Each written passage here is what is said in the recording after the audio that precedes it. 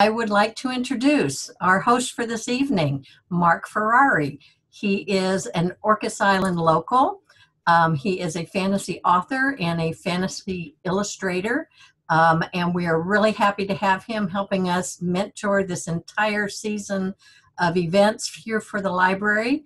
Um, and we have with us uh, writer Kij Johnson. So, Mark, please take it away. Thanks, Mary, and welcome everybody. Uh, tonight, I am very excited to be here with Kij Johnson.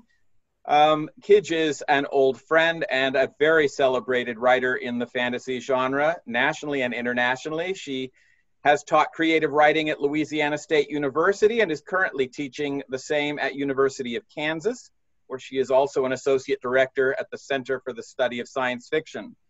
She has been a managing editor for Tor Books and Dark Horse Comics. Uh, she has been editor and creative director for Wizards of the Coast, uh, some people from which we will be hearing from next Thursday evening. Um, uh, Dungeons and Dragons and uh, the makers of Dungeons and Dragons and Magic, The Gathering. Um, she's been a managing editor uh, and user communications in for user communications at Real Networks and content manager for Microsoft Reader. Um, her work has been translated for European audiences in other languages, including Japanese, Turkish, and Icelandic. Uh, just to give you some idea of how accomplished she is, Kij is a three-time Nebula Award winner, a three-time World Fantasy Award winner, and a Hugo winner and finalist, uh, along with uh, a William L. Crawford Award, a Theodore Sturgeon Memorial Award, a James Tiptree Jr. Literary Award, and others.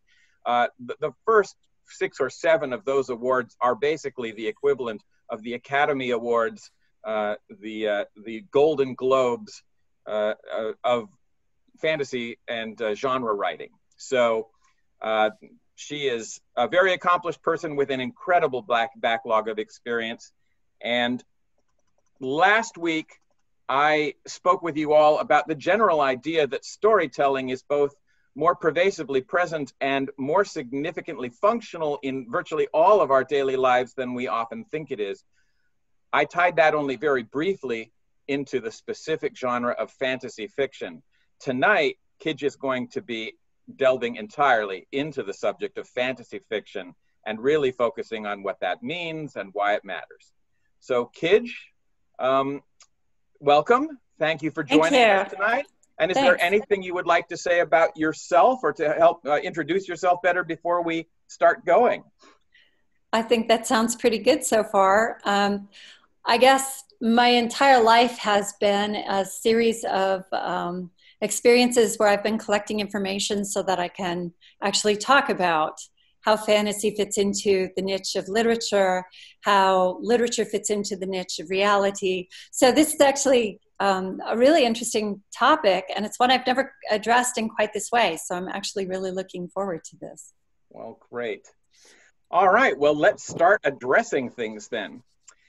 So, here's my first question to you How do you see the difference between fiction and nonfiction, We, literarily or otherwise? Yeah, we started with this because, um, hi, everybody, by the way. I know many of your names as I saw you showing up. Um, uh, Mark and I talked for just a little bit about this earlier this week to get an idea of what we wanted to talk about. And I kind of wanted to start by talking about the difference between fiction and nonfiction because I feel like it's a pretty good starting point for talking about the differences between fantasy and realism. And I'll be using my hands a lot. So, um, so uh, and the example I give is sculptures of elephants.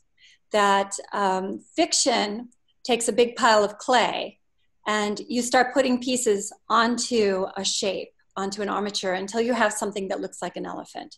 Um, fiction is an accretive act, it's a, a, a cumulative act, an additive act. Um, nonfiction is a subtractive act that if you want to make an elephant out of marble, you start with a big chunk of marble and you start, like that saying is, you carve away all the pieces that aren't an elephant and you're left with that. Um, so nonfiction in fiction we start with nothing except our imaginations and those parts of what we can experience or or um, or know has been experienced and we accrete them to create a, a truth and nonfiction. I have all the data points of my entire life. For instance if i want to write a memoir and it's just a matter of which pieces i carve off that marble that makes the difference between an elephant and a house. Um, I will make different decisions about creating a nonfiction memoir um, based on whether it's a comedy, whether I wanted to end happily, whether I wanted to be about a theme or a different theme, which where I would make different choices.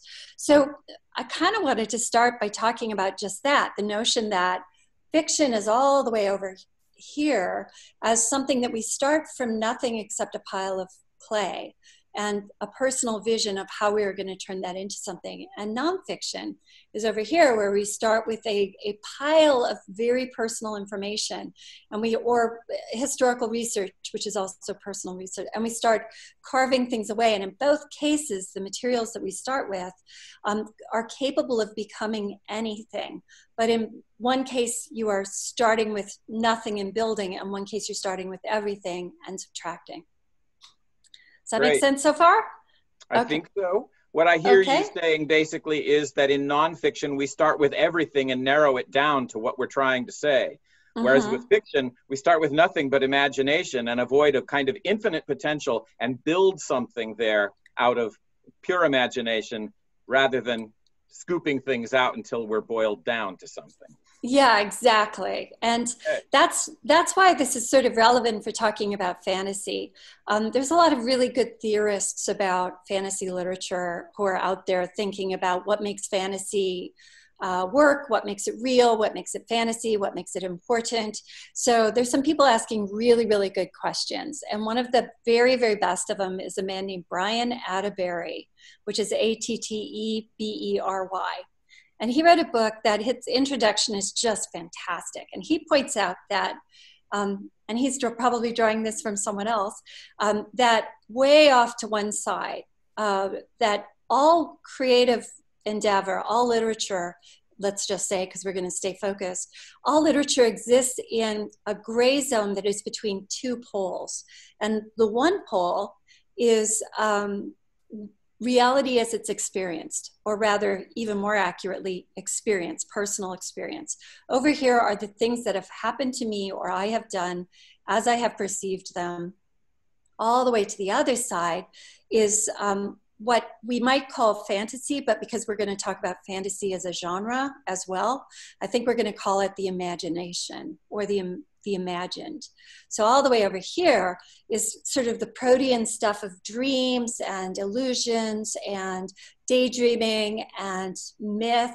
All of that's way, way over there. And it's a very personal experience. If any of you have ever tried to explain a dream, you know exactly how personal, how hard it is to try to explain what's going on. Over here is your experience. And that also is almost impossible to make clear.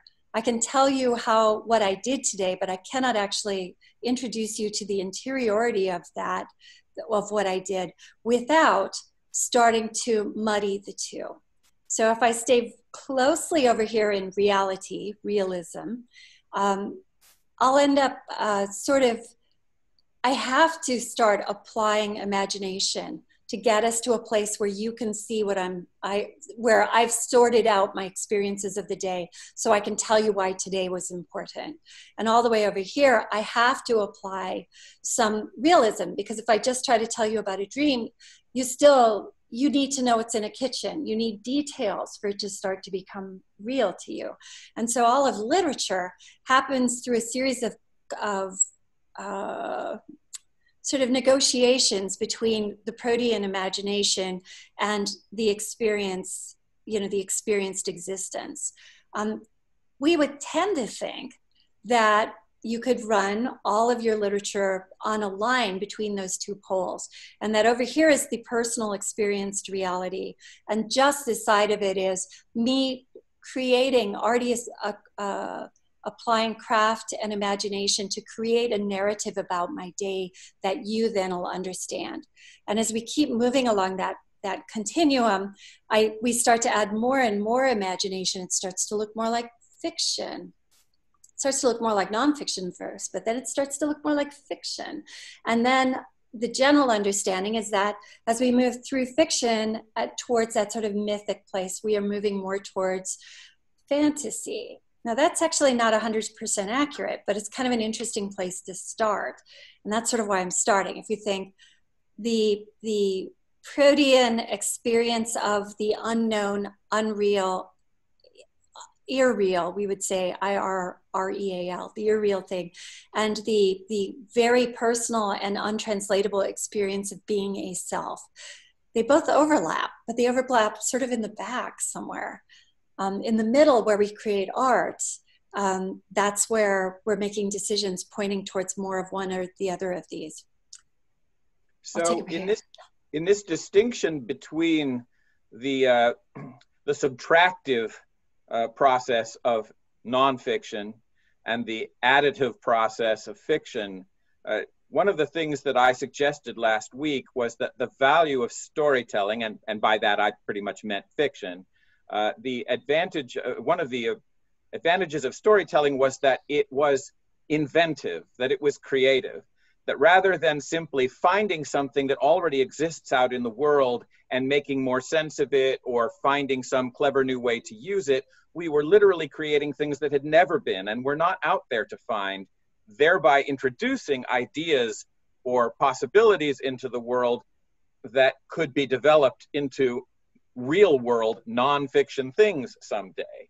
So when you're building an elephant, you can build what isn't there. When you are carving an elephant away from what's already there, no matter what you come up with is going to be confined largely to what it, was already there. It can be, it really can't be much bigger than the block you made it out of. Right. So I could, uh, for instance, decide to write uh, a memoir about myself, and I'm going to stay as close to my experience as I possibly can. But while I can add things like, here's what's going on in the town I grew up in, here's what's going on in the country, here's what's going on, I, I can put all of this stuff in that was not my actual experience. For instance, when I was six, I didn't know who president was, but there was one. Um, but the real experience, by doing that, I'm already starting to expand outside the restrictions of the block of marble that is my life as it was experienced. So, yeah, exactly. Um, the I like to think of those two poles as the imagined and the experienced. And uh, certainly, it's a truism, and we're not talking about science fiction, but it's a truism in science fiction that science fiction writers invent things. We imagine things, and then some scientist goes out and makes it. And there are enough data points of instances where that's true. People present that argument a lot for the relevance of science fiction, but it sort of defeats the purpose that we don't invent we just we throw pasta at the wall. And some of it sticks and some of it doesn't. And fantasy of course it's quite different. Fantasy doesn't generally invent things the same way. Um, one definition of fantasy uh, in comparison to science fiction is that science fiction is stuff that could happen and fantasy is stuff that can't. Um, you can further detail this and say realism realistic fictions are fictions of stuff that could happen or could have happened, and science fiction is stuff that could happen in the future or could have happened in an alternate timeline. And then fantasy remains the stuff that can happen. It's that's the land of dragons. It's also the land of vampires. It's also the land of of uh, you know gravity suddenly changing because you feel happy that day, or or like a James Thurber story where somebody has no gravity to them. So we're not creating things that are functional, we're, but we are doing something that's pretty significant, which I'm sure we'll talk about later. Right, and not to get too far ahead of ourselves, but I kind of want to throw in here the fact that fantasy dwells especially in things that can't happen, quote unquote, in our world, does not mean that, that that fantasy has nothing to say about all the things that can and do happen in our lives and who we actually are. Um, in other words, the value of fantasy has to do with what we learn about ourselves in what I think you called thought experiments when you and I talked. Later, yeah, we were talking about thought experiments, which is um, one of the things, uh, especially when I'm talking about science fiction and just just to get it out there, science fiction. Uh, the argue there are arguments that science fiction is a category of fantasy, and arguments that fantasy is a category of science fiction. But and i actually think they both miss the point. I think science fiction is a realist fiction. It's just about fictions that have not happened.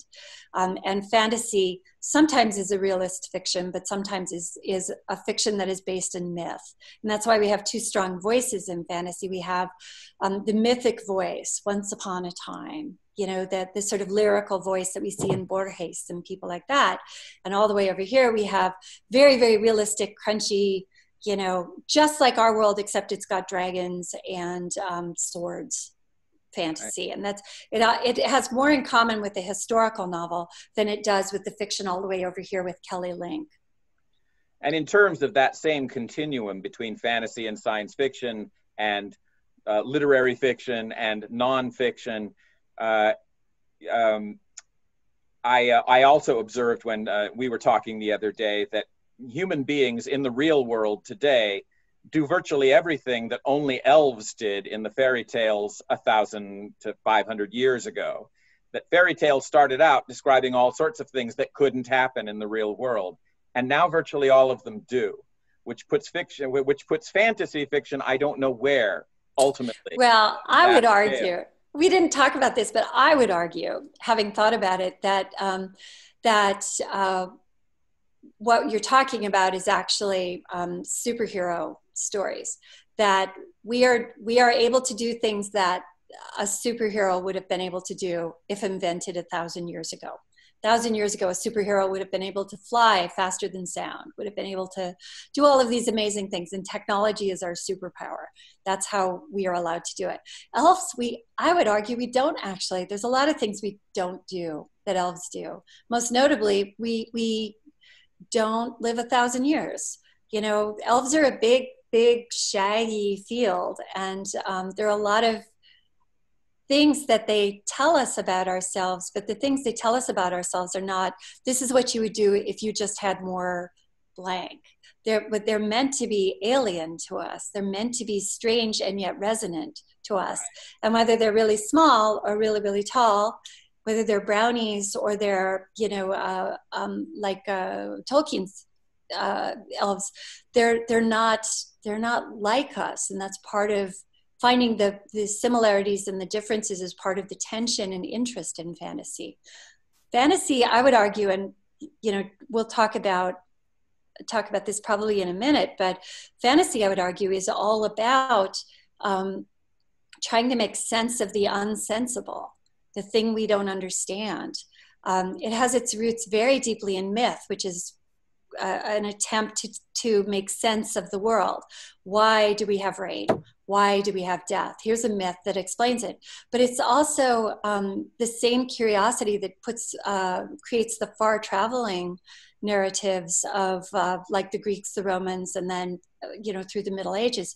The idea that you can go to a foreign land and see a camel and a camel, that's not a real animal until you've actually seen it. So some travel writer in the you know first century AD goes and sees a camel and comes back and says, there are these things and they have humps and they can walk for a thousand days across the desert. Um, there are also these things and they, they have blue skin and they will grant your wishes, but they will take your soul. You know, it's like the difference between um, a creature that was actual but not observed, that was not part of the experienced reality of the character, um, and a, a, creature that was a fabrication um, is is actually to the person reading that book. There's no difference. They're both fantasies. They're both would you, fantasies. Would you say then that old fairy tales were the superhero stories of their time? I wouldn't, I wouldn't, I would not say that. Although plenty of them have many of the tools, use many of the same tools that superhero stories do. Um, they have clever people who are managing to solve problems. They have seven league boots. They have super technologies. You know, the boot that you can walk seven leagues in a single step. You have flutes that will, you know, summon rats to you. So they're full of you know magical implements and as arthur c clarke the science fiction writer has said any sufficiently advanced technology is indistinguishable from magic which was com- what, which was the point I was getting at earlier. Yeah. I mean, and- the different the difference between a supersonic jet and seven league boots boots seems minor to me. The uh, the difference between the ability to communicate instantly to someplace far away in a magic mirror and the ability to pick up an iPhone seems minor. So there right. are, I think, a lot of things we do now that were once impossible things in fairy tales. But right. the reason I the reason I asked about whether they were the superheroes of the past is is is uh, anticipating an, a question later on here about where all of this fits into the ongoing evolution of literature and what is what is nonfiction and what is fiction and what is literary fiction and what is non-literary fiction from year to year and century to century and millennium to millennium over the course of history. Uh, vis-a-vis wherever we are right now. Yeah. If, if only there were an easy answer to that but i did i did sort of put together a kind of loose timeline of how we got to here. Um, this is something that we oh, love. that's question number four. Can you it is that? in fact i can. Yes. Okay. So we're actually partway into question number two already. Question number two that we came up with the other day was how do you see the difference between fantasy fiction and other kinds of fiction? So you've mm-hmm. already started addressing this, but is there more you'd like to say about that? Yeah, I mean, there. Uh, a lot of this points to some stuff that will that we will talk about when I talk a bit about where fantasy comes from.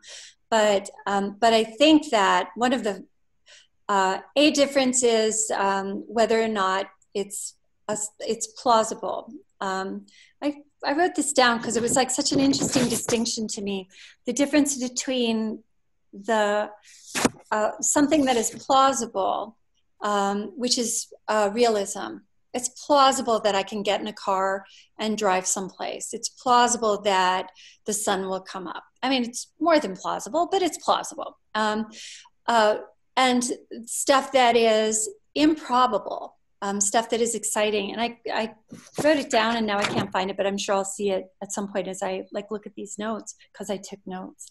Um, but uh, the idea that um, uh, some fictions are are trying to stay as close as they can to the pole of experience. Um, some are willing and have to, in fact, push more towards the other pole, the pole of the protean imagination, of surprise, of Im- improbability, of, of impossibility, in fact.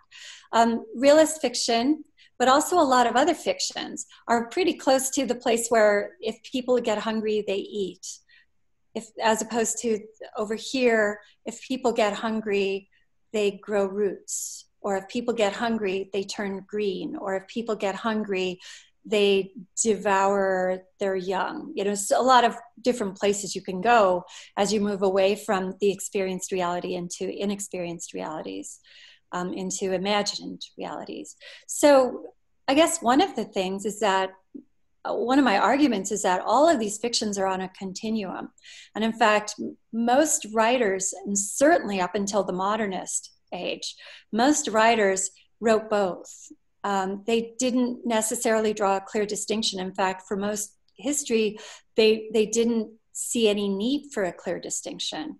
Um, that really starts with the Gothics, um, which uh, um, which is sort of the place, the moment at which uh, David Sandner, who's like a, a, fantasy theorist, argues that's the moment that science fiction or that fantasy and literature uh, mainstream literature simultaneously created each other by defining each of themselves as what the other one was not.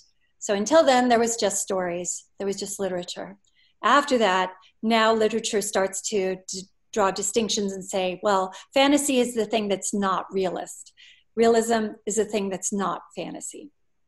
Right.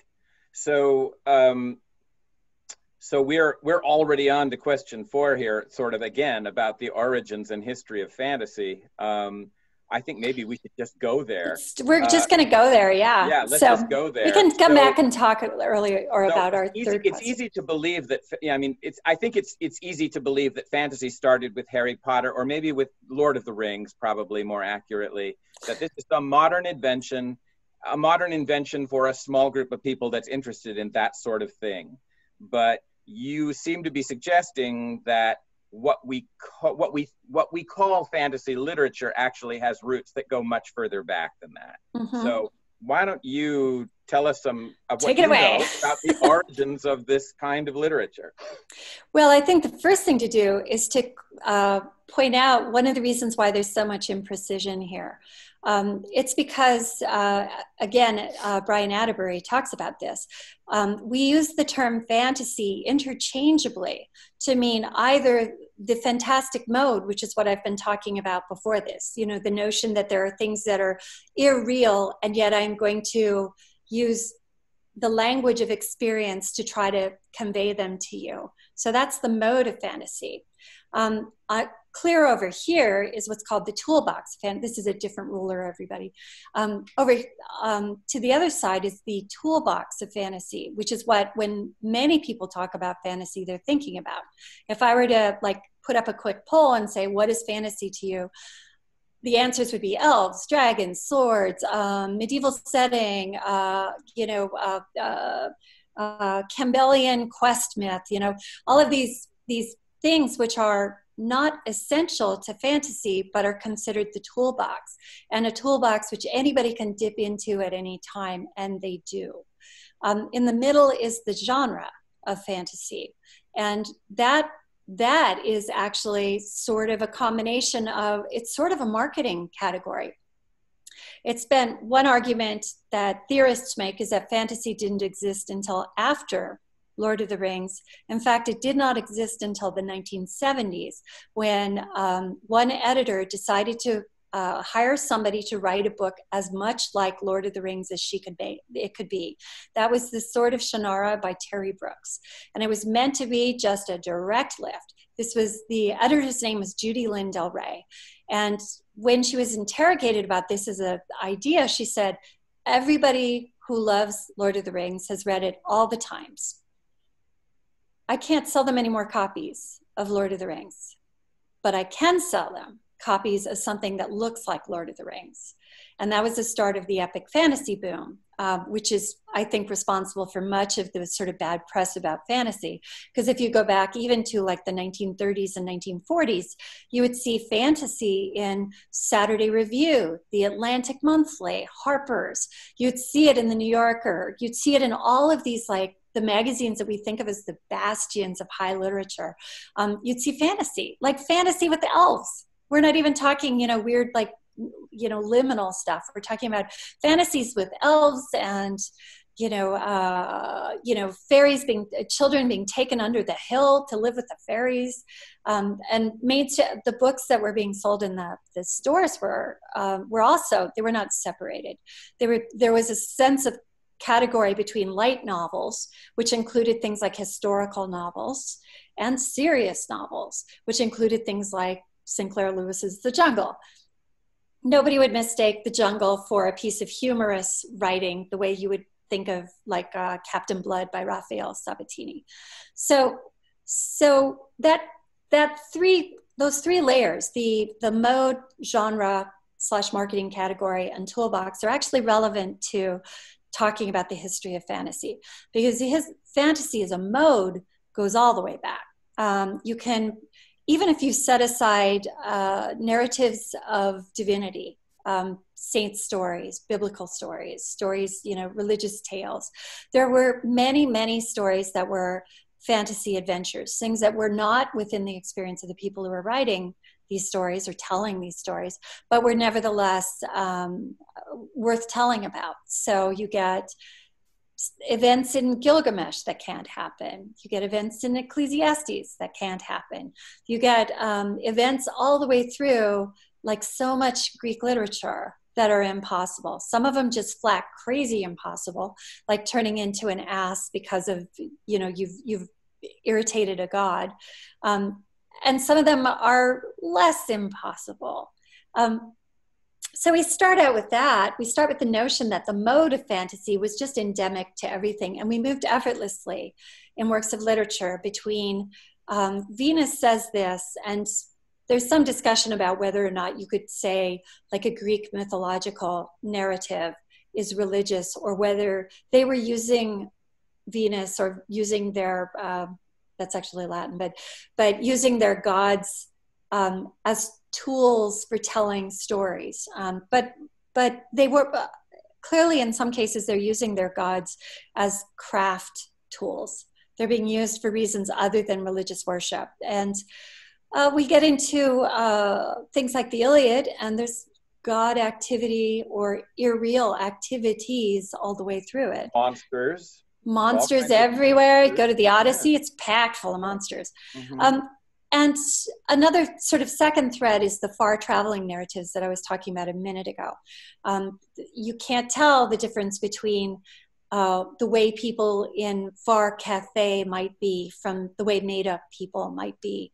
And so far traveling was an attempt, a reader of a far traveling narrative or the listener of one was, was being exposed to a lot of things they would never imagine. And most far traveling narratives, that's what they really lean in on too, is and and here's a place where smoke rises from the ground. Here's a place where the ice never melts. Here's a place where rivers of you know fire run down to the sea. And all of this those are those are being told they they may or may not be real things but they but they are perceived the same way either way and and it's a really easy step to go from talking about you know, uh, Iceland and the the geysers of Iceland, and a trip to the moon. It's not mm-hmm. actually that different. So far traveling then becomes this place where we can explore all these mythic places.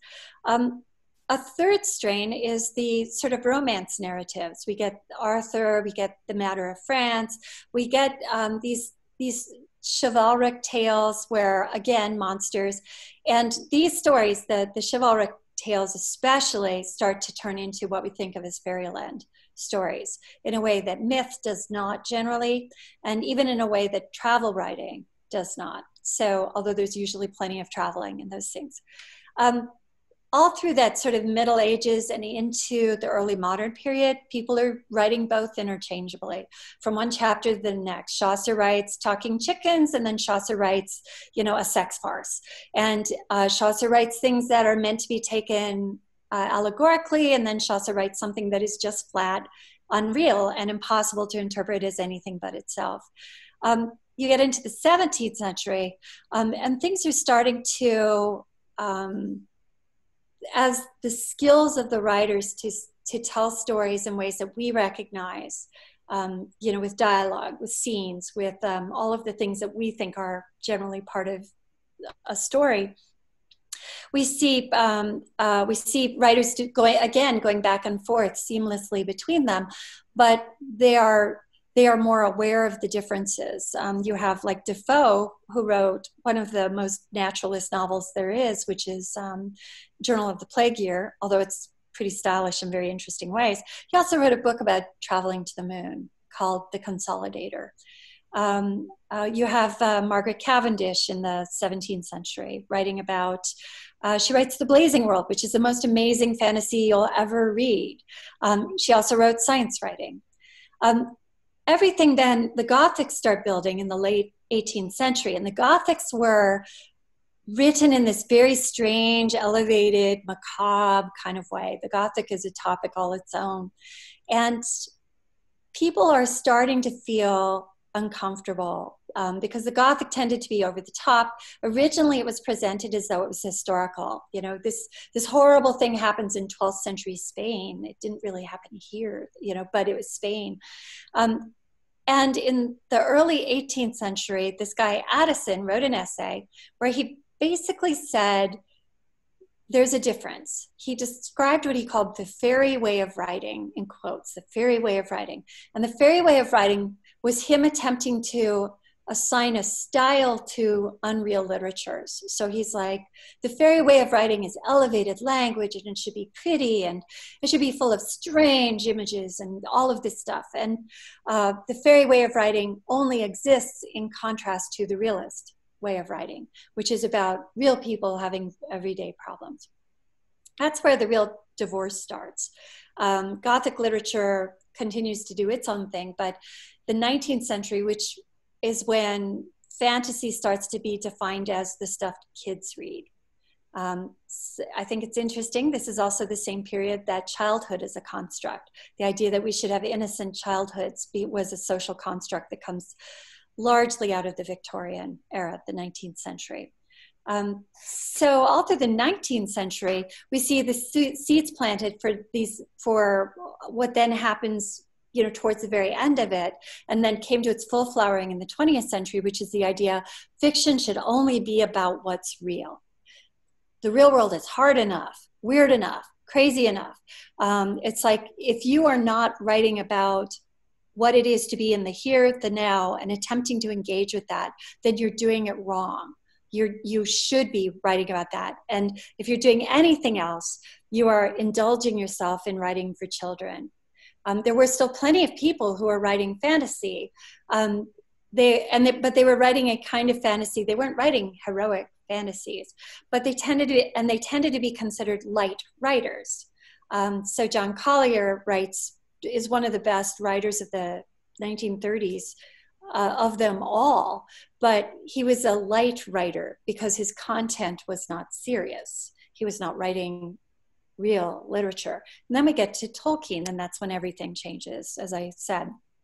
Tolkien was very popular, and then Tolkien became the founder for the, the inspiration for the genre of fantasy. And so for the next 20 or 30 years, all of fantasy was trying to get on that sweet gravy train by imitating this same stuff. And because this is the way all marketing categories work, and that includes literary fiction. Um, everybody tries to jump on that that that wagon. Um, that wagon gets overloaded and stale. People get sick of it, start bad mouthing it, and abandon it for a different wagon. And so, since then, we've seen a number of movements. The urban fantasy movement. We've seen a whole lot of different sort of things come up. And but again, if they're successful, everybody jumps on that wagon and they kill it dead. Um, and that's true across mysteries. Um, how many counted cross stitch mysteries are there in this world? Um, or you know, the cozy mystery became is, is a pretty well laden wagon at this point, for example. Um, and that probably is like the quick and dirty introduction to how fantasy became the thing it is. Um, we're starting so, to see that change. So, to recap, sort of in a nutshell, before we move on, there is the mode of fantasy that has been here since storytelling began, basically. All of the sort of mythological, creative, imaginary spaces that, that appear and disappear in all kinds of literature, from Gilgamesh and Beowulf to Shakespeare when he's writing The Tempest or Midsummer's Night's Dream and filling them with fairies and magic and wizards, even though there are also plays about real nobility and real Europe and all the rest of this um, you know, on through all of this, all of this era before literature was divided into genre labels. And then there's the genre of fantasy, which is actually a marketing invention, if I understand you correctly, that started with the Gothic and accelerated from there to the point where pretty soon there was a kind of a artificial and belatedly imposed category projected onto certain elements of what had used to be general uh, literary fiction. Yes. And now suddenly became a ghetto of its own. Um, yes. And then there's the toolbox that you mentioned, which is really just the props of that space. It's not mm-hmm. the story, it's not the message, it's not the value or the meaning. It's literally just the props of that space the swords and the pointy wizard's hats and the bright blue lighting effects that go with a magic spell. Those things are no more the story than the the tutus are the ballet. Um, yes, yes, right. exactly. Okay. And actually, that's a pretty good when you bring it up like that. That actually makes makes a good point, which is that the toolbox was in existence and even acknowledged, um, maybe not directly long before the marketing category. So, um, you know, uh, a lot of people were writing voyage to the moon stories, for instance. We usually consider those science fiction, but they they're they're operant in this case as well. And Voyage to the Moon stories had all the same pieces. You had to mm-hmm. get there somehow, usually using either a technology or, you know, rubbery magic. Um, you met people there and you learned about their culture there. Often you waged war there, or war was waged on you while you were there. Um, sometimes you came back with something that was valuable. Um, these are all things that we see in every space colonization narrative ever. Um, and it's also, so that's part of that toolbox. And uh, it was being used long before science fiction as such uh, was, would have been long before the term science fiction. And most people would argue long before the founding of science fiction. Right. Now, of course, we keep talking about science fiction. There are distinctions between science fiction and fantasy, right? Yeah, there are. Well, there are, um, but generally, again, this is the reason. One of the reasons why fantasy and science fiction are always in the same marketing, in the same shelves. That's why we talk about science fiction and fantasy with the same voice. Um, there, there are historical reasons to do with publication and promotion that put them both into the same place, and there were overlaps. There, there certainly overlaps of who wrote them because they were both light literatures in the pulp you know when pulp fiction was was uh, really coming into its flourishing. So people would write both science fiction and fantasy often in, in ways that are almost identical. So their fantasies set on a strange planet planet look just like their science fiction which is set on mars. So i mean i ask some of these questions just by way of kind of uh, opening up the question of what people imagine when they hear the phrase fantasy fiction. Um, you know, do they imagine fantasy fiction or do they actually imagine a science fiction novel they read somewhere? And do they imagine the best of science fiction? I mean, sorry, the best of fantasy that's out there? Or are they imagining sort of Shannara or something else that was pretty much purely about the toolbox? You know so this leads us to the, the next question we had come up with which was you know so once you have this this sort of ghettoized label of genre label of fantasy being applied to literature containing certain kinds of material or literature operating within a certain mythical imaginary creative space uh, the question becomes what does that mean are mm-hmm. Is all fantasy literature now that it's been ghettoized is all is everything in that ghetto the same or are there different kinds of fantasy literature? And are there different qualities of fantasy literature? Yeah. I'll also remind you that you mentioned farah mendlesohn and her categories the other day if you remember that. Yeah. So yeah. this might be a place to go into some of that. It would. I'm going to start with the with, with what you said about quality though.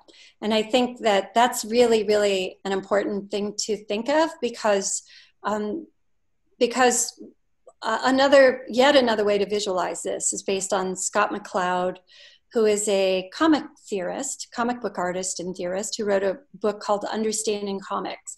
And he talked about, he's talking, he's making the argument for the validity of comics.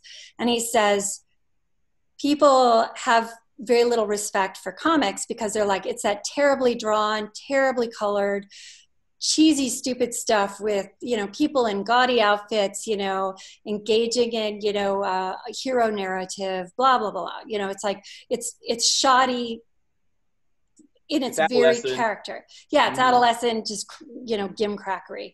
Um, right. his argument is that in fact comics is a container that contains anything you want to put into it um, we see that with Maus. We see that with, um, there's a French comic called The History of Sex, which is actually a nonfiction work about how reproduction works. Um, Before there, you go on Maus, we, we've been throwing out a lot of names and titles here that probably don't mean anything to a lot of our audience. What's Maus about? It's about Maus is uh, uh, talking animals. Um, it's it's uh, uh, Spiegelman, the the author, talking about his father um, who had been in the Holocaust, had been in a concentration camp. And right. it's being told, it's a very realistic memoir. Um, as he is talking, and his, his dad is uh, both annoying and noble. And the story being told is horrifying. And it's all being told in this dead simple black and white uh, style with mice. With mice. And talking the, mice talking mice, and then the Nazis are cats, which sort of adds a whole layer of sort of symbolism that you really wouldn't get from uh, a textbook. Exactly. So, that's, right. That's why I asked you to point this out. Is because so, you yeah. Maus and nobody knows what it means. But when right. you realize that Maus is I, a comic book series about the Holocaust and concentration camps uh, during World War II, told with talking animals and cats. What what do you? And it's not in the least funny. I mean, it's harrowing no, to no, read. It's harrowing. So, so it's a comic book, but it's nothing that people would imagine from a comic book. What do you think the value is of telling that story with talking mice and cats in a comic book form instead of just writing a literary textbook of some kind about the experience right. from the point of view of real people. What is gained by doing it that way? Well, and, and this actually points back to the fantasy as well, because what's gained is there's there's a lot of theory about how um, how we read and how we look at pictures, and um, there's a lot of science that goes into this, which you know I'm certainly not qualified to talk uh, too articulately about, but um, but there's uh, the comic book allows by slightly abstracting the figures it becomes actually counterintuitively easier to inhabit them.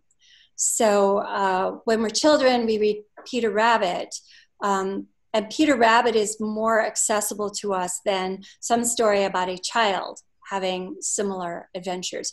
Because Peter Rabbit, we look at the picture of the child and we're like, that's not me. I know that's not me.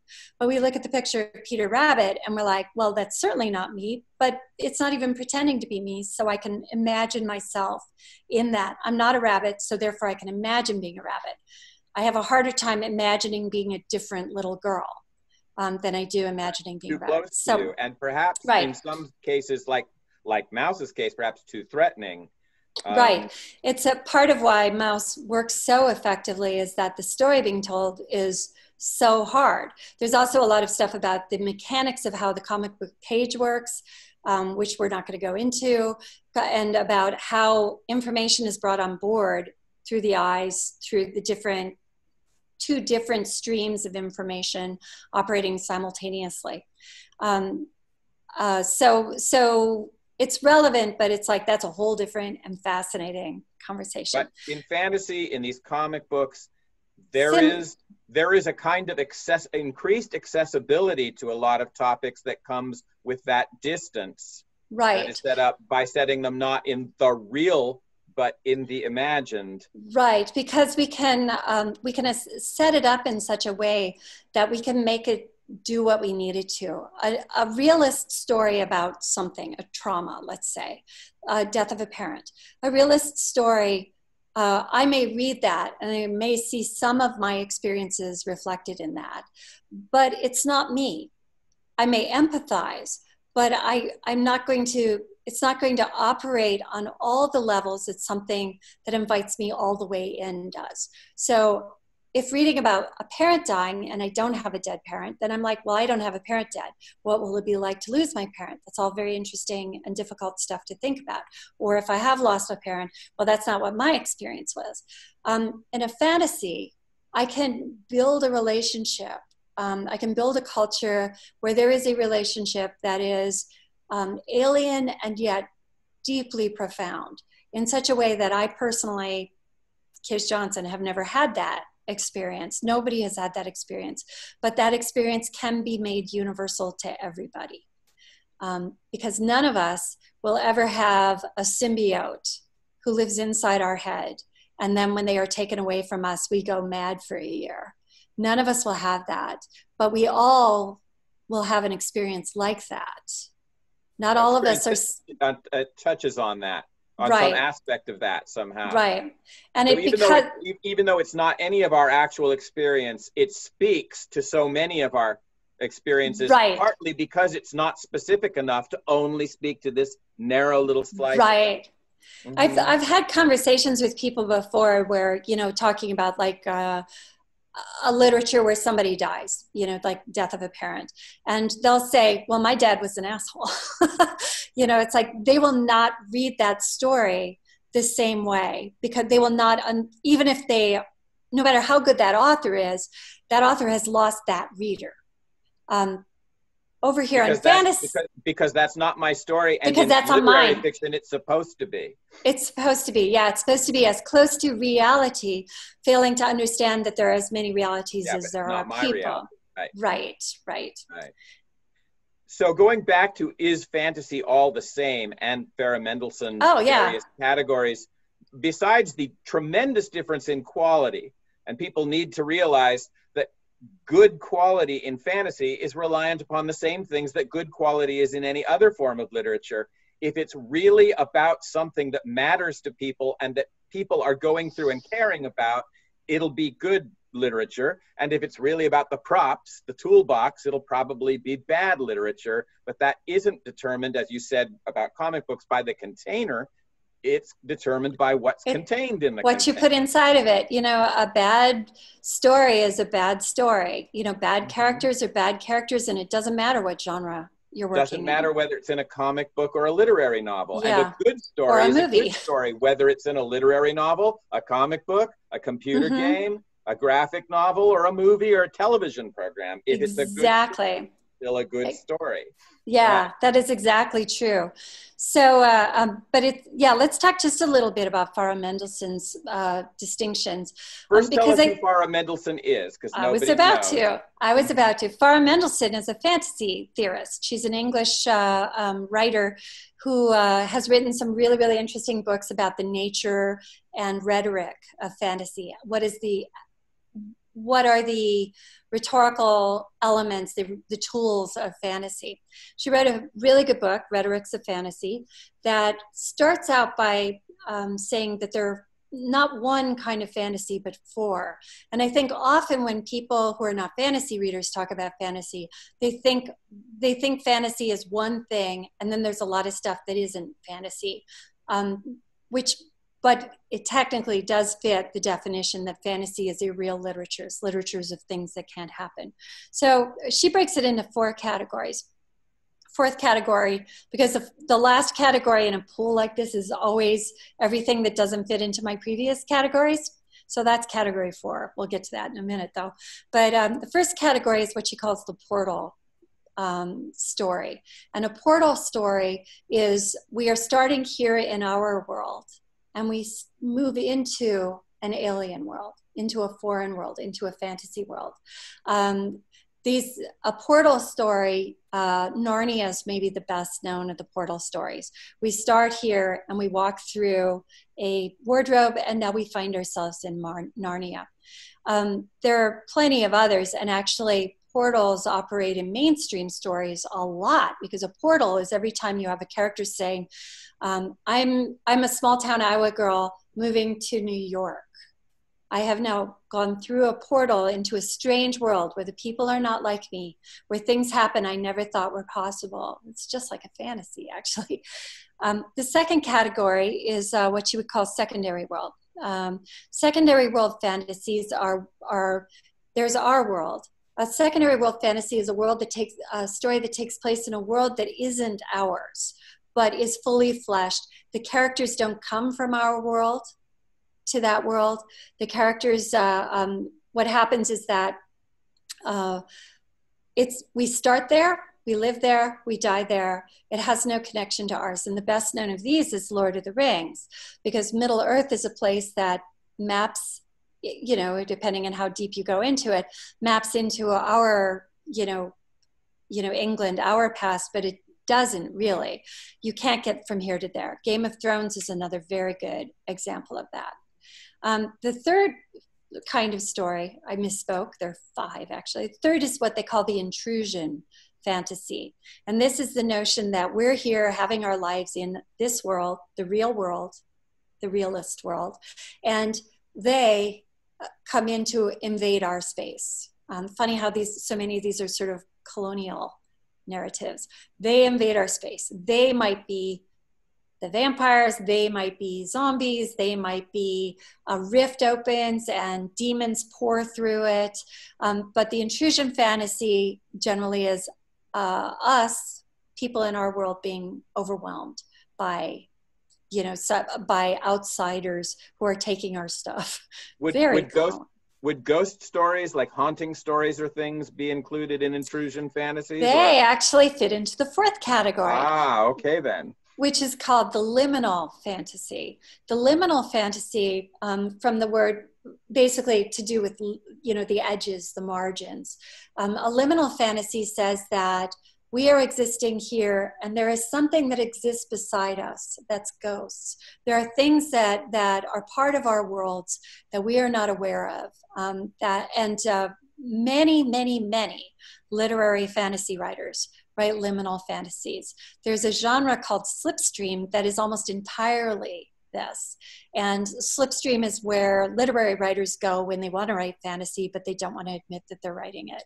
So the liminal fantasy, um, and you can kind of see that a liminal, you know, werewolves living among us might be liminal, but werewolves, uh, you know, coming into our space and killing us off and creating a werewolf super nation, that would be a, more of an intrusion fantasy. Mm-hmm.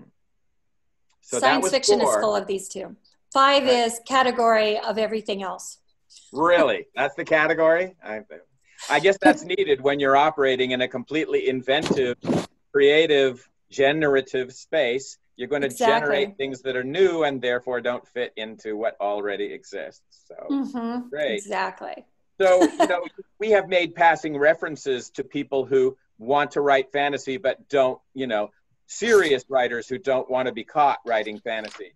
Um, I know that Virginia Woolf and Updike and people like that have actually written fantasy, just balls out. Even fantasy. the one, the, even the ones who hate, who said fantasy is hack work, would write fantasy. That's right. Yes. Can you yes. can you think of can you think of some other examples of people that we think of as literary writers oh, yeah. writing fantasy? Toni Morrison. Mm-hmm. Beloved is a ghost story. Um, you see, uh, Paul Theroux wrote something called The Ozone, which has got speculative elements. Hilary Mantel. Um, it gets it gets even more confusing because there are an awful lot of stories with sort of a strange, mysterious undertone where you're like, um, for instance, Hilary Mantel wrote something called Fludd. Um, and stories where you're like, is this real or is this not? Is this just where it could be taken either way? These are generally liminal stories. Um, but uh, I actually wrote down a couple of other ones and then I lost it. Well, while you um, while you look for them, I'll talk at you uh, in this same yeah. vein. Uh, in addition, in addition to you know straight on literary writers who have managed to sneak under the the tent flap with some fantasy now and then without being caught, uh, there are also straight out fantasy writers who are somehow seen as and sold as literary writers. People like Anne Rice, Stephen King, Dean Koontz, Michael Crichton. You will not find their books in the fantasy section at any well, bookstore. That's... You will find them in the literary fiction section, even though right. they're writing about vampires and monsters and ghosts and spiritual magical realities. What what is that about? When I, would, I worked in bookstores in my 20s, and I loved this because that's when I started writing fantasy and science fiction. And um, uh, the top 10 books in mainstream fiction, you know, the, the top 10 novels as opposed to sci fi over here, um, they would be eight out of 10 would be some form of irreal literature. They'd be fantasy, science fiction, or supernatural horror. Um, they would be incontestably so uh, they unapologetically so. So this is why the marketing categories um, are also not a great way to identify yeah. your genres, because right. if Stephen King started as a genre writer but became so big, he be- moved over into mainstream. Right. Um, Paul Theroux, when he wrote The Ozone, it was not shelved where it should have been in science fiction, um, where it would have found an audience. And so it was not one of his more successful books. And then, of course, it works the other way. Maria Doria, uh, uh, Marie Doria Russell, uh, who wrote um, The Sparrow. The Sparrow and the, that whole series, The Children of God, and, and all of that. She tried to publish that as science fiction. And because it can, it, because it revolved around a plot involving the Jesuits and the Catholic religion and all the rest of this, they just wouldn't publish it. So she ended up going to literary fiction, and the books became blockbusters. I mean, they're mm-hmm. very, they are profoundly moving and great literature. They they tell a very deep story that's very thought provoking and very relevant to real lives in the real world. But it's still all happening on an alien planet with alien races and you know all the rest of this. And when it became a blockbuster, science fiction publishers and fans screamed, Well, what kind of snob are you not to come to us with that? And she said, Hey, I tried. You wouldn't have me. So, uh, you know, th- these, I'm speaking to these prejudices because mm-hmm. when you say fantasy literature, people think they know what you mean. And I'm mm-hmm. really encouraging people in the audience right now to look again before they assume that what they imagine when you say fantasy literature is actually what's out there. I also want to say there is a reading list on the library website of recommended titles, including a few of Kij's. Uh, and I am one of the curators of that list, and I worked really hard to make sure that there wasn't much, if any, toolbox literature on that list. That is mostly really lovely literature that addresses the same themes just as powerfully as the best of literary fiction does, except well, within the fantasy space. Right, but I do want to just clarify there's nothing wrong with the toolbox. Um, I didn't make that clear earlier because you were saying there's nothing wrong. You can write a brilliant story that only is fantasy insofar as it has elves in it. Um, and it it's not a bad story. It's right. it's just a story where you have purposely chosen to treat um, the tools of fantasy like a sandbox. What I meant when I made those remarks, and thank you for pointing this out because it's a very good yeah. point. I'm not trying to vilify the toolbox, but what I was saying, what I have said on a few occasions during this conversation, basically is meant to suggest the toolbox has many really uh, profound values to a good fantasy story but stories that are about nothing but the toolbox are not right. likely to be good stories. Right. So there are stories that are about nothing but the toolbox. I'm just going to write a story that has as many of these props crammed into it as possible in as flashy a manner as possible, and people will love it because of all the nifty props. That and there's yeah yeah that, and there's a lot steering away from. Yeah, there's a lot of very successful and I think and good young adult fiction that that treats its fantasy or science fiction as a toolbox. It doesn't necessarily go into really thinking through the economics of its fantasy world because that's not what their priority is. Still right. successful, it still works as a story. If you're there because you want realist, realistic world building in an alien world, you're not going to get that. But it may still be very satisfying. So we have one more question before we get to the Q&A portion of this evening, um, which I hope people we've will. Already, we've already sort of answered this question. Well, we have sort of, but I want to give us, give us a chance to embellish on it if there's any embellishments needed. This last question basically is about the value of fantasy fiction for real people in the real world. So we've said quite a bit about this, but are there any things about fantasy fiction that you think are particularly and uniquely valuable in terms of the literature's application mm-hmm. to real people and we're leading real lives in the real world? Yes, absolutely. Because one of the things we can do that nobody except sometimes science fiction can do is that we can literalize metaphors. Uh, we can, uh, for instance, if you want to talk about um, uh, uh, more than two genders. We can build a world with seven genders and say, what do you learn about love? What do you learn about affinities? What do you learn about identity? Once you've done that, you um, you can't do that in a realist story. No, you, you can only write a story about the pe- about people. Um, but I can create an alien I can create my elves can have five genders and you know seven forms of marriage, and I can explore so many things if I go to that place. And in fantasy world, I can I can imagine a world where where there's there's uh, no no uh, inequities what does that look like? We cannot actually write that story in this world. We cannot write a story without inequity built into its matrix. But I can write that story, and by trying it, looking at what the world would look like without that, I can maybe offer some ways for other people to see outside of the box of our, our reality. So this gets back to the concept briefly touched on earlier of thought experiment and the value of thought experiments. And the ironic thing is this thing you're talking about right now is the same way that a great deal of experimental science. This is science. This Wait. this is development and research where you create an, a completely artificial set of circumstances to isolate elements and get them to behave in ways that you could never observe in the real world so that once you learn what there is to learn from that observation you can start applying it to all kinds exactly. of technologies and things in the real world this is where things like quantum entanglement and the future of computing and long mm-hmm. distance communication happen is in this artificially constructed, completely right. unreal environment. But fantasy, which is not about technology, no. the same, but the same thing happens. Um, yeah. we, we build these experiments. Um, on the science fiction side, we joke about this. We say we do the, all the same work a scientist does, but when the scientist sets out to do the lab or to do the experiment, we write a story, um, right. which is our experiment. Um, you know, is it reproducible? No. It's we are we are we are engaging in a mode of inquiry that is unlike the scientific method, but it serves some of the same purposes. And with fantasy, we're doing this with the heart, with the soul, with yeah. with what identity is, with what you know what what uh, is possible for the individual, right. what is possible for the group. So Ways we do all that same work. The interior experience of being yes. human.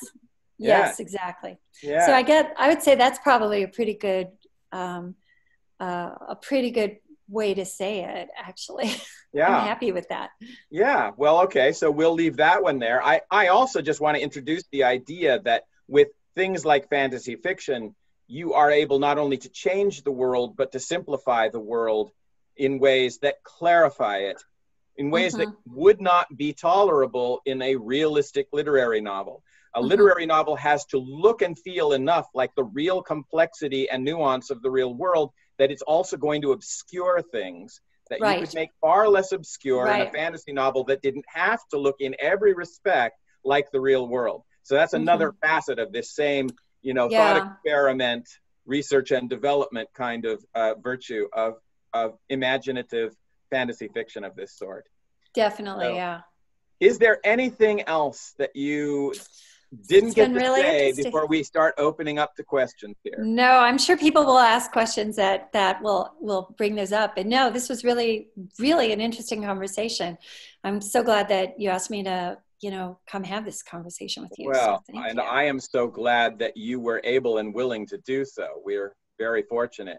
So um, we're gonna we're gonna open up things now to Q and A. Mary, do you want to say anything about how this is going to work? Um, so uh, we are going to open up questions and answers um, to uh, Kij or even Mark um, because I found the conversation between the two of them was really very interesting. Um, one of the easiest way to do that is with raising your hand. And um, as I mentioned at the beginning, a real easy way to put the icon to raise your hand to ask a question um, is to use the Alt Y keys and um, then we will call on you and you'll have your opportunity to ask questions. So um, I will open that up to the floor now. Be sure and uh, remember to unmute your uh, microphones when um, you're called on.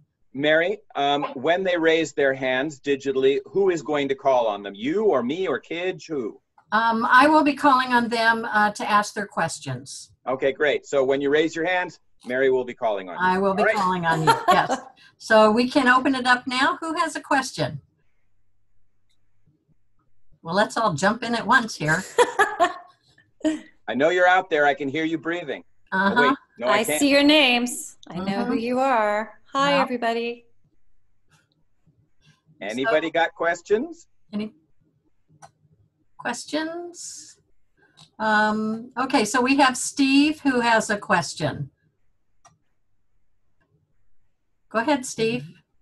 For, for your inspiration, um, you take your inspiration, and correct me if I'm wrong, but from a lot of the folklore of various cultures and from various places.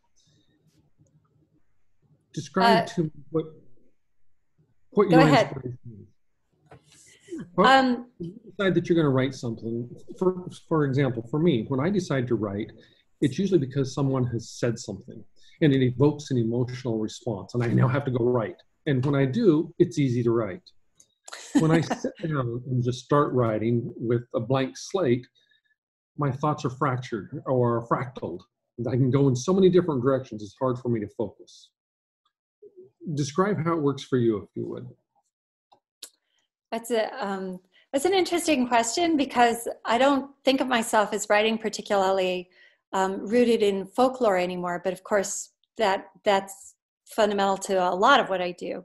Um, my process usually, um, usually there's a, uh, something something resonates for me, an image sometimes, um, sometimes a feeling that I'm trying to like. Uh, music will do this. I'll, I'll have a feeling from a piece of music that elicits something um, and it's never easy. I'm not an easy writer. Um, I'm teaching a workshop right now, and I've been writing 600 words a day, even though this is my job for these weeks is to write with these people and that's as good as it gets i mean 600 words is is i have dragged them out of me word by word for that but my inspirations recently um, have been uh, changes all the time, but uh, the last few years I've been very interested in sort of uh, engaging with works that mattered to me when I was younger, but hadn't, which is kind of like folklore actually, but um, which I found there weren't easy access points for me. Um, so Uh, um, H.P. Lovecraft, the horror writer, I wrote, I sort of wrote a story engaging with that. Um, uh, Kenneth Grahame, who wrote the children's book, The Wind in the Willows. I wrote a book engaging with that. So I've been doing that a lot, actually. So how do know. you how do you engage with books like that? With Wind in the Willows, what does that mean that you engaged with that? What did you do with Wind in Willows? How was that well, involved in your story? Much as I I loved Wind in the Willows when I was a kid, and if you haven't read it, it's um, four friends, four male friends who are all animals living in England having cute animal adventures. And uh, that's a really simplistic way to describe it. It's actually far more charming than that, and actually more profound. It's bittersweet and has these beautiful, some of the most beautiful nature writing I've ever read. And I'm a big nature writing buff. But um, I, much as I loved that book, they were all boy animals. And I thought, well, what if you put a girl animal in there? And the answer was you can't put one girl animal in there because this is Edwardian England. One girl animal has to have a friend or has to be married or has to have siblings. So then I had two girl animals and I had to figure out I couldn't give them the same kinds of adventures because girls would not have the same kinds of adventures. But I wasn't really interested in writing you know a bunch of sort of drippy female animals you know tatting and you know going to luncheon parties or anything so i figured out what kinds of adventures would be accessible if you were a well-dressed property owning animal in 1913 england um, and that's that's how i did it was that i inserted two female animals who move into a cabin and um, and disrupt the neighborhood because nobody wants girls there and then just sort of let it ride. so this story of yours ended up not being about several cute animals having cute animal adventures, or at least not just about that. It ended up being about gender dynamics and politics during the Edwardian age. In other yes. words, it was a story about human experience being explored through the exotic lens of talking animals and their lives in nature like exactly. what we were talking about earlier exactly yeah. and because they were animals and not people i i was somewhat freed from the constraints there would have been if i told a story about two uh, you know female friends who moved to london in 1913 and they're going to have adventures um, it would be quite a different story because they would be individuals. They would have the things that matter to them would be specific to them and because they were human there would be different sort of expectations of them. Um, and i was so relieved not to have to do that right. because then i could really roll in on my characters are like super interesting. Um, beryl who's one of the two females she knows how to do everything because she's a lady novelist. And so a good novelist learns how to do what she writes about. So she knows how to shoot guns and she knows how to hog-tie rustlers and she knows all of the things that any writer who had infinite time would just pine to know how to do. So I created a girl, a female animal that is somebody I'd really want to be, and I would have had a hard time creating a female human in 1913 England that I would want to be. So again, placing that extra layer of distance between real life and your story, you have actually created the opportunity for additional access to a whole lot of other things. Mm-hmm. Yeah, yeah, exactly. Right. Okay. So this is kind of your your process there is illustrating things we've talked about. We have mm-hmm. a question here that somebody wrote in ahead of time. Um, actually, they wrote two questions. The first one is about your process, your routine, the number of words per day, and things. And you've already really answered that question. Uh, but the second question was how much is your work indebted to Ursula K. Le Guin? How similar or different are you as authors? So, what do you what do you think about that? Um, she's she is one of the greats, and I'm always incredibly honored when you know I I whenever I'm compared to her, which happens once in a while. um, and I'm I feel really really fortunate that I was able to study with her because she was a fantastic teacher. She was so pragmatic, so calm. She just took no bullshit. I loved her. Um, the I don't.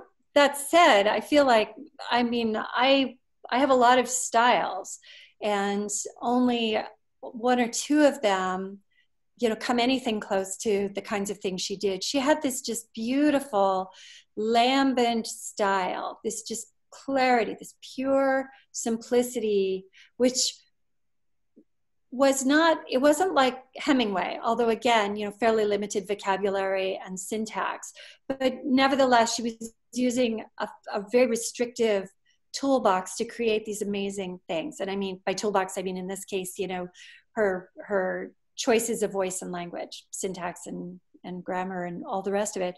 So she's uh, um, and i lately i've been kind of a maximalist. So more recently i've been writing things that are all about the subordinate clause. Um, i am feeling the urge to go back to write something that's very very crisp and clean again. Um, and when I do, I will probably go back and reread her short fiction. Um, we are similar in that we both, uh, uh, she wrote a lot about, um, or she, she wrote with great sensitivity about, uh, the, about animal intelligences. Um, she was really bold about, you know, thinking in terms of what, uh, of the humanity, you know, with the different you know the humanity of the inhuman i guess you know the the uh, the personhood of things that were not people and right. i always really admired that and that is a topic that i go back to a lot and again it's a topic that is being uh, that is rising up again in the real world as well there's more and more debate about the sentience of the other live forms we share the planet with and mm-hmm. and whether they're really as oblivious and as brainless and as soulless as we have imagined them. And more and more scientific research is suggesting no, no, in fact, they're not. Um, in fact, didn't New Zealand just declare all animal life sentient or something recently? I mean, I think there, there was something, something, yeah. People there are something legislative in New Zealand that kind of acknowledges, yeah, animals are people too. I mean, I'm saying that. That's not what they said, and I'm not entirely I'm not trying to apply that across the board, but the idea that animals are not just animals to be kicked around. Mary, I see you there. Yeah. You got another question? Um, well, I have one for myself, and that was um, Kij on your uh, short story, "The Ponies." What was the inspiration of that one? That that was such a a, a middle school um, uh, girl club kind of uh, uh, atmosphere in in that story. Where where did what's the background of that one? Um, there are two people who are at this uh, talk who know this story. I wrote that um, uh, for a friend, actually, Barbara, my friend Barbara Webb, who I'm teaching a workshop with right now. Um, and that's a story that started with a conceit because I needed a story idea. And I said, I need a story idea. And she said, Write me a story about magical talking ponies. Um, and so I, because I was writing this for a rather dark woman with a very dry sense of humor, um, and she had required magical talking ponies, I, it just seemed really natural that we would go to this this really uncomfortable place where um, ponies are tor- tortured by their their pre-adolescent kid, you know, owners. I person my personal part of the story is that I I had a really hard childhood as far as that went. Nine to eleven was terrible for me, and I remembered it being almost that horrible, although there were no ponies involved. And so I was trying to kind of convey that as economically as I could. Um, that that sense because and this is something that couldn't have been told in a real story because there are plenty of good middle school middle school readers that are about you know girl bu- bully, bullying uh-huh. but um, that story because it's about their ponies involved because it's all somewhat symbolic it has enormous resonance with all of the little girls who read it um, and many many little boys as well and not so little actually mm-hmm.